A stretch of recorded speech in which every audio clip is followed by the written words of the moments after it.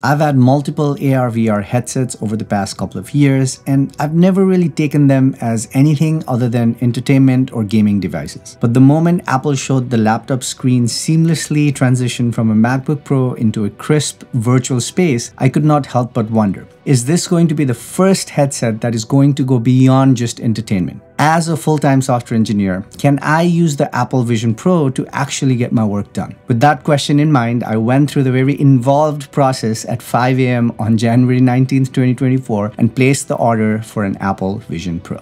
This video is not sponsored in any shape or form and I have swallowed the very expensive pill that is the Vision Pro myself so that you don't have to. On the positive side, I've now used it extensively for about a week and I hope to help you answer the same questions I had. This is not a review of the Vision Pro. This is instead a video of how it is to use a Vision Pro as a software engineer to get your work done. All right, let's get started.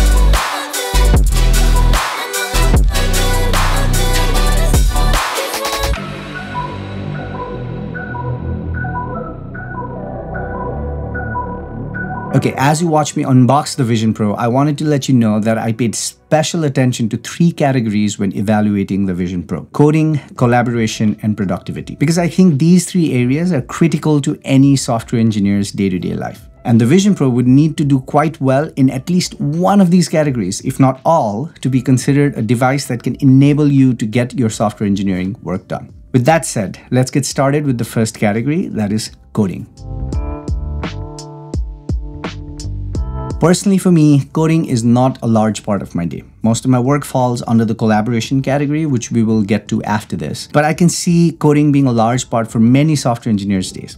But out of the box, the Vision Pro only has a few native apps and none of them have anything to do with coding. But by default, most iPad apps will also automatically work with it as long as the developers publish the apps for the Vision Pro. So that could come in handy. But considering the fact that I do have an iPad Pro with the Apple Silicon and I've never really thought of it as a device that I can use to get my coding work done, I would have to say that the Vision Pro was no different. I know that Apple wants you to think of it as a standalone computing unit, but in terms of coding, there is no way to tap into that compute to do even the slightest of coding tasks.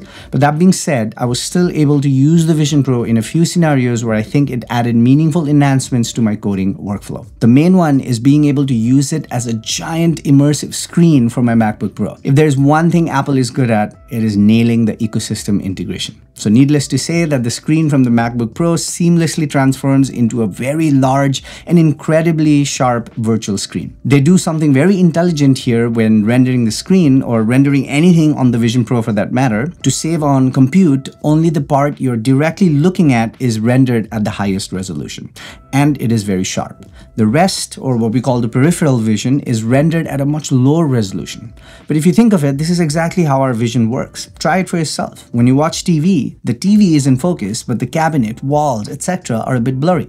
Or if you're coding and if you focus on a few lines of code carefully up close, you will notice that the rest of the screen is naturally blurry to your eyes. And this works wonderfully well on the Vision Pro. The screen is incredibly sharp and you can easily use it to code on for long periods of time. However, the downside here is that you only get one screen. Surprisingly, you can't even use your MacBook screen if you use the Vision Pro's virtual screen. I was hoping it was more like the iPad where the MacBook can utilize it as an extended screen, but unfortunately, it's not. Instead of simply casting the screen as is, I would have loved it if Apple allowed you to drag individual applications over to the headset. That way, I could have dragged my Visual Studio Code over to Vision Pro and resized it to a giant portrait ratio for an immersive focused coding session while the rest of my applications remain over in my MacBook Pro.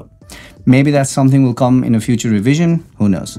But for now, you're stuck with that one screen which still gives you the immersion if you need it. You can disable the pass-through, set your Vision Pro to do not disturb mode, play a calming tune, and just focus on that one screen. I did find myself doing this on a few occasions and it was pretty great. While all the iPad apps will automatically work with the Vision Pro, I suppose the developers will still have to release the apps for the Vision Pro because one app I would have loved to use that isn't there yet is Remote Desktop. While my primary machine is a Mac, I still use Windows for a lot of other development development use cases. And I was hoping that having remote desktop on the Vision Pro would allow me to have both my MacBook Pro screen and my Windows desktop on the same virtual space. But yet again, I hope that we'll see that in a future iteration. So as far as coding goes, all you really get from the Vision Pro is a really high resolution, giant virtual screen that can allow you to be fully immersed in what you're doing. Okay, the next category is collaboration, where I spend most of my day in. Things like meetings, presentations, and discussions about architecture and design. Um, so, can the Vision Pro be useful in these scenarios? Well, the first question to answer is can I even use it with existing collaboration apps like Teams or Zoom? Or is it exclusive to things like FaceTime and messaging on Apple ecosystem? Since being on camera is obviously a big part of remotely collaborating, I went ahead and scanned my face to create my persona. And as many others like Marques, Brian Tong, and The Verge have already pointed out, the persona is quite unnatural. You can tell it's me, or at least it's trying to represent me, and the speed at which it reflects my action is pretty quick, but it looks very artificial and downright weird in some cases. So it's apt that Apple declared this feature as beta. The good news is that the Vision Pro and the Persona works well with all major communication platforms. I personally tried it with Microsoft Teams and Zoom, and it worked great. My Persona, while a bit creepy, showed up just fine and did a great job of reflecting my facial expressions. The Persona feature is really really impressive and really bad at the same time. It's hard to explain. But aside from just talking in meetings, if there's any typing involved through chat or anything like that, I highly recommend using a physical keyboard. I also tried seeing if the whiteboard feature on Zoom works, and unfortunately, it seems like it's not supported on the Vision Pro as of now. Um, if someone starts a whiteboard session, you simply don't see it on the Vision Pro or get any notifications about it, while other participants from other devices can see and interact with the whiteboard. So I suppose other than attending meetings with a weird persona while while chilling at Joshua Tree, there isn't much else the Vision Pro can give you in terms of collaboration. Personally, I was hoping for a bit more in this category, but I guess this is again a side effect of being a first gen product. I fully expect integrations to come along in due time as apps get updated to take advantage of the Vision Pro. Okay, the Vision Pro isn't fully there when it comes to directly enabling you to get your work done, but maybe it can provide some productivity boosts as a supplemental device which can maybe aid you in getting your work done more efficiently. To explore this idea, I revisited the virtual space with my MacBook Pro screen shared alongside native Vision Pro apps. And this is where it sort of clicked for me and I saw a glimpse of the potential a device like the Vision Pro has. As a supplemental device, as your sidekick to existing computing devices, or as a plugin to to your existing workflows.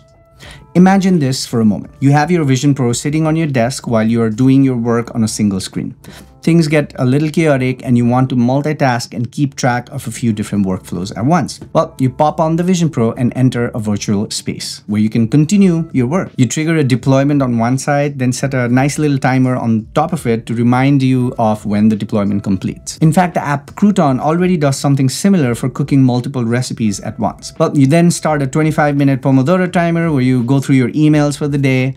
When the 25 minute timer hits, you take a 5 minute break and enter a calming meditative space. Then you hop on a quick meeting without worrying about your hair because your persona's hair is always done. While you're in the meeting, you get a notification that your deployment timer is done.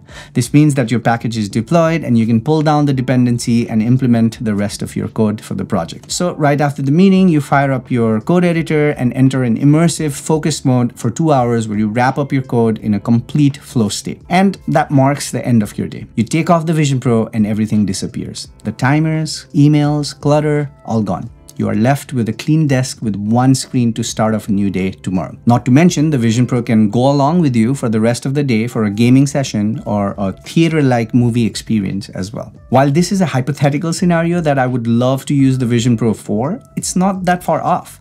A few feature updates and apps catching up to it can enable this and many other scenarios where the Vision Pro can enhance your existing workflows instead of trying to replace them.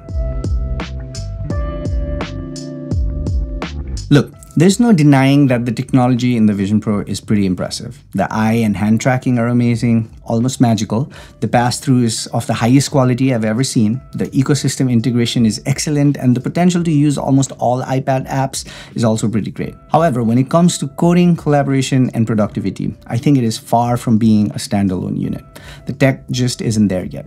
That being said, I do think it can be a very useful addition to your existing Apple ecosystem as a sidekick to help you give a decent boost in your productivity. For that specific purpose, I think it's the best headset I've ever used. But I'd be remiss if I didn't bring up the elephant in the room.